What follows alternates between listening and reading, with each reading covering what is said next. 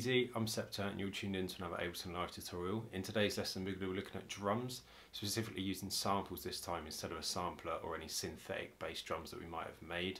So some pretty simple concepts but I do think they're quite important. So without further ado, let's get into the lesson. Cool, so here we are inside Ableton Live uh, and as always I'll play through the project first.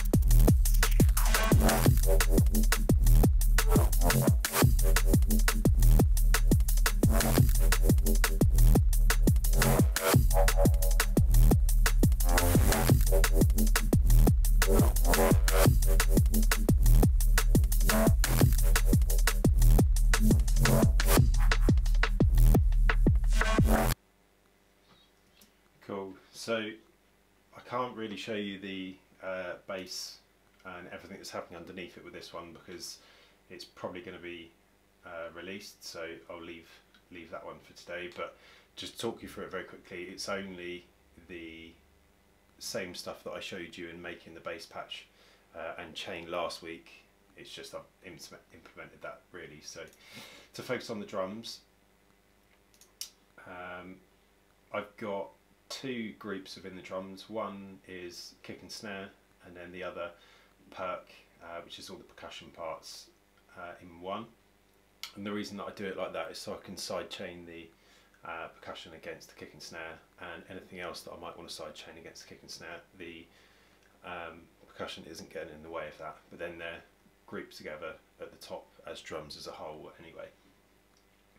So this is quite a you know fast rolling break which has lots of little percussive elements in it but I don't really think it sounds too over the top. It still adheres to the minimal kind of style. So there's something to bear in mind.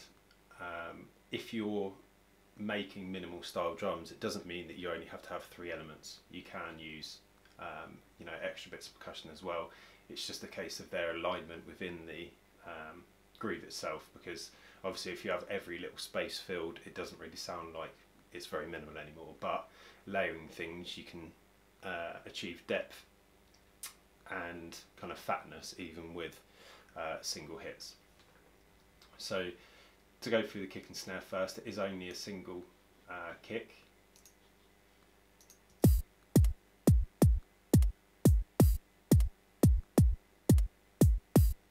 so you can hear there's a little uh, hat on the upbeat of one of the kicks uh, in that little loop, but that's because I've chopped it out of a break. Um, I don't ever really layer kicks because I always tend to have phase problems with them, and I think really if you if you find a good enough kick, just spend the time doing that. You shouldn't need to layer it anyway. It's not the same as kind of the tonal qualities that a snare has. So yeah, that's it for the kick really, just really simple. Um, the snare is a little bit more complicated in that it's got three layers, which I've got snare one, uh, snare bell and main snare. So the main snare sounds like this. So it's almost a clap really. Um, well it is a clap. but then I've got a kind of pitched up acoustic snare on there as well and together they sound like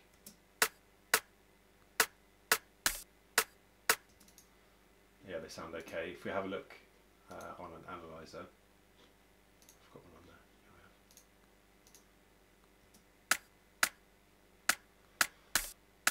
So there's no real fundamental um, I guess you could say it's 300 hertz but it's more built up out of the noise I think that's just actually just the clap.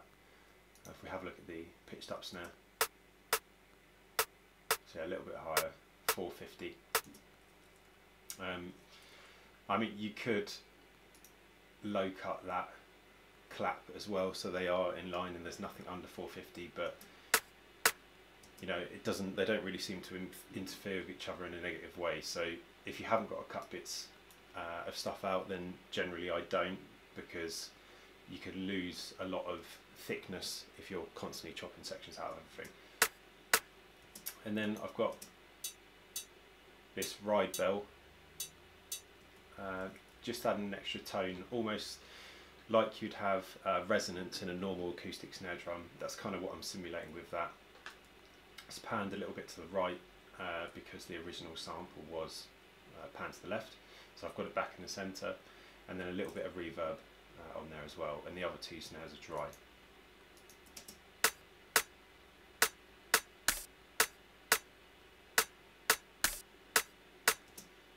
Cool, so the kick and the snare group.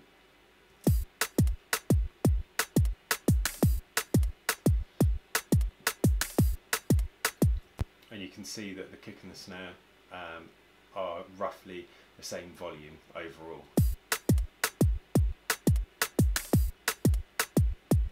Which is a pretty good place to start if you're unsure about drum levels.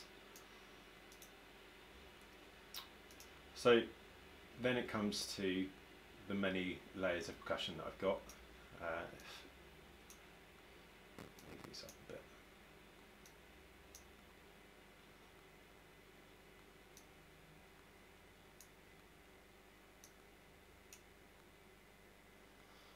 So what I'll do is add them in one part at a time and hopefully we'll be able to hear the uh, effect that they have on the groove as a whole.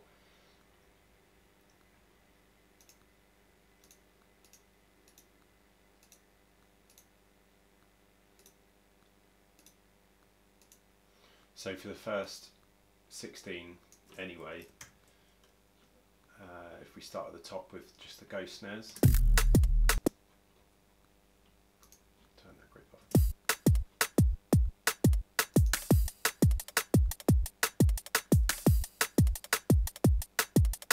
So it's really adding a lot of groove um, to the drums. That kind of shuffle makes it feel a little bit more funky and slightly less static.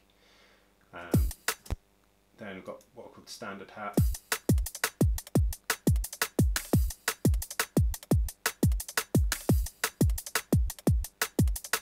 So it's working with those ghost snares to add to the shuffle. And then I've got a wide hat. Which if you're wearing headphones or you're in uh, in front of your monitors, you'll hear it really spreads the top of the breakout, um, and that effect was made by slightly delaying one of the hats uh, and panning them left and right, and then um, cutting the mids out. Because I find if you use uh, stereo wideners, because it kind of spreads it synthetically in a way, it doesn't have the same weight in the sides that you'd have if you actually, uh, you know, pan something. So do that, pan them left and right, um, delay them slightly, otherwise they won't really be perceived as stereo if they're at exactly the same uh, time. And then uh, consolidate them, save them in your sample pack, and then it's easy to add it into any break that you might be making in the future rather than having to go through that whole process again. So after that, just a little tambourine hit.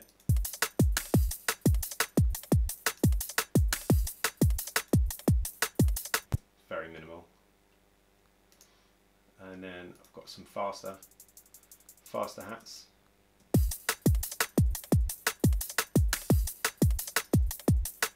Which again, don't really sound like uh, they're doing much, but it does add to the overall feel of the break in terms of speed.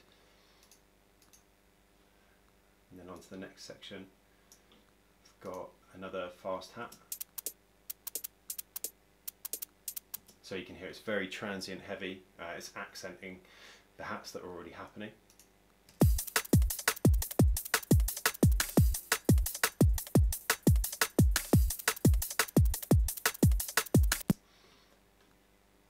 And then the section after that, got open tick. So I've got an open one and then again very transient heavy short hats.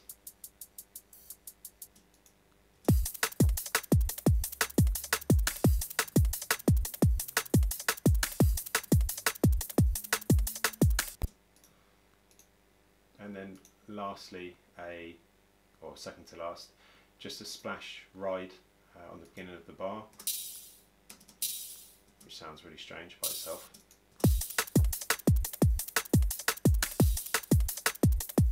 pan slightly to the right. And then lastly that is actually a ride bell. So it's a lot of very pointy transients, um, but you can see an, in terms of levels, you know, I've turned them all down quite a lot, so they're roughly the same volume and just complementing each other. I'm not really worried about phase alignment uh, at all with hats because this is a kind of messy sounding break.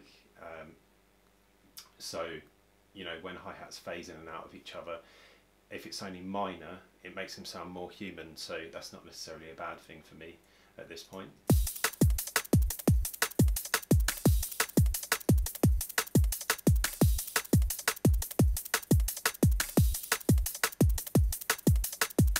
And then back to the stripped back version.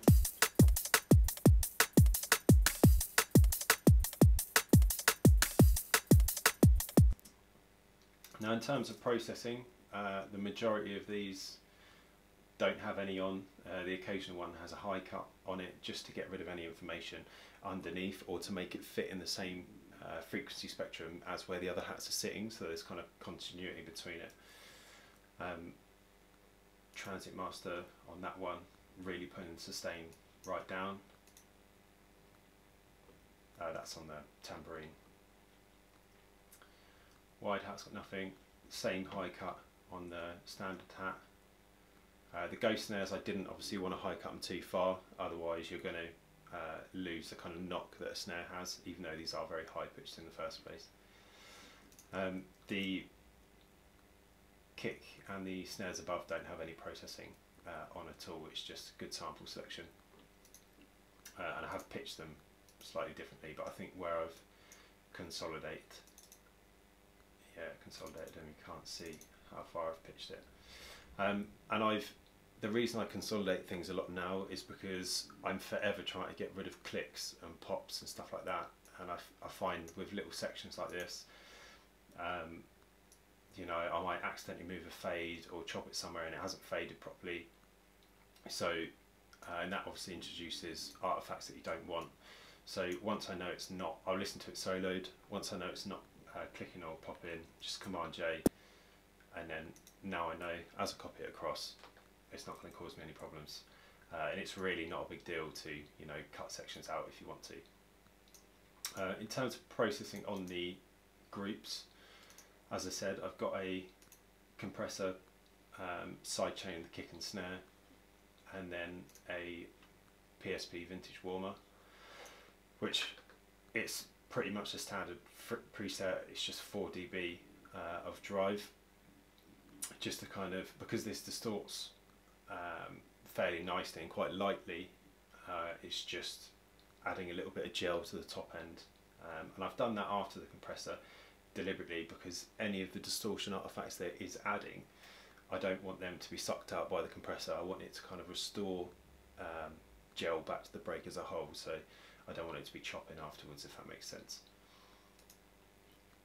Uh, processing on the drum bus as a whole, uh, I've got uh, Decimort, which is not actually doing anything in terms of sculpting the sound. It's just for effects throughout the track.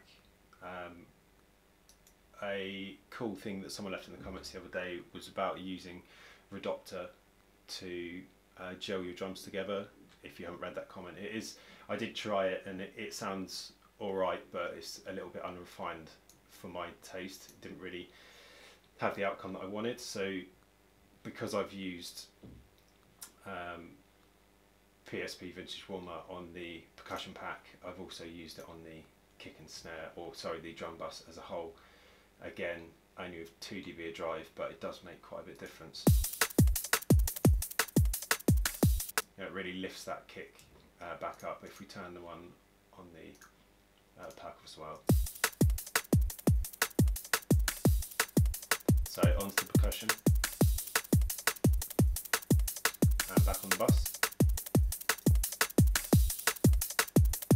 You can hear it just kind of brings it all up to a nicer level uh, and gels it back together a little bit. When you have a break with a lot of elements like this, I find it's not really too hard to get it to gel back together. If we only had, um, you know, two hats, a kick and a snare, it can be harder to get the sensation of uh, groove without using reverb. I find if anyone has a solution for that, do tell me. Um, so, in terms of the processing, effects processing, um, in terms of variation on the bus, I've got a bit crushed um, kind of filter sweep that happens here.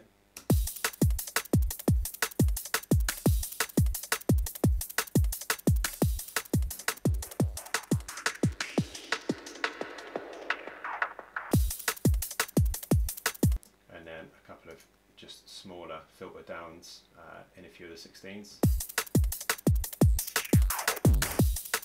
Same again there. And then to talk a little bit about the uh, intro, it's you know it's it's not in any kind of finished state yet, but something I like doing a lot is getting an auto filter um, and setting the LFO rate on a bandpass filter to kind of go up and down with some reverb on it.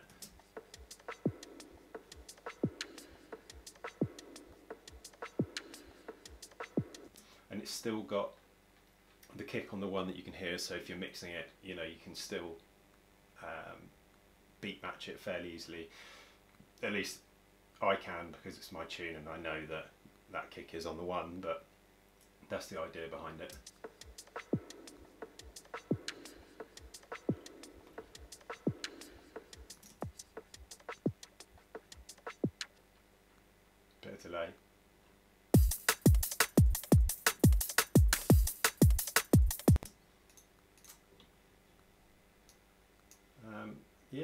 Kind of it really. I, as I say, I can't go really through the rest of the track, um, but what I will do actually is strip the drums back whilst the track's playing so you can kind of hear the impact that they have, uh, the different percussion layers have on how the track feels.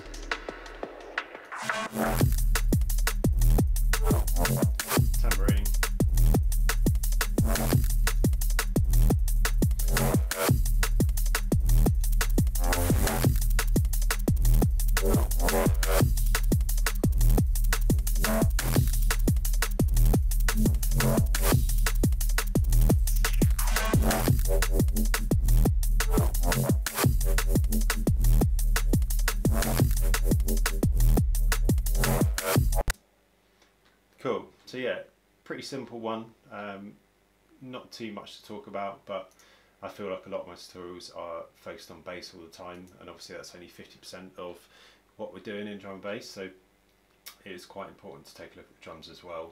Um, yeah, so if you have any questions on this sort of thing, or you want to know where to get uh, samples, or to make, or how to make a certain type of sample, um, then do hit me up in the comments, and I'll do a video on that as well.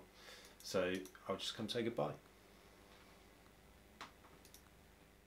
Cool, so thanks again for watching. Hopefully that was helpful to a few heads out there.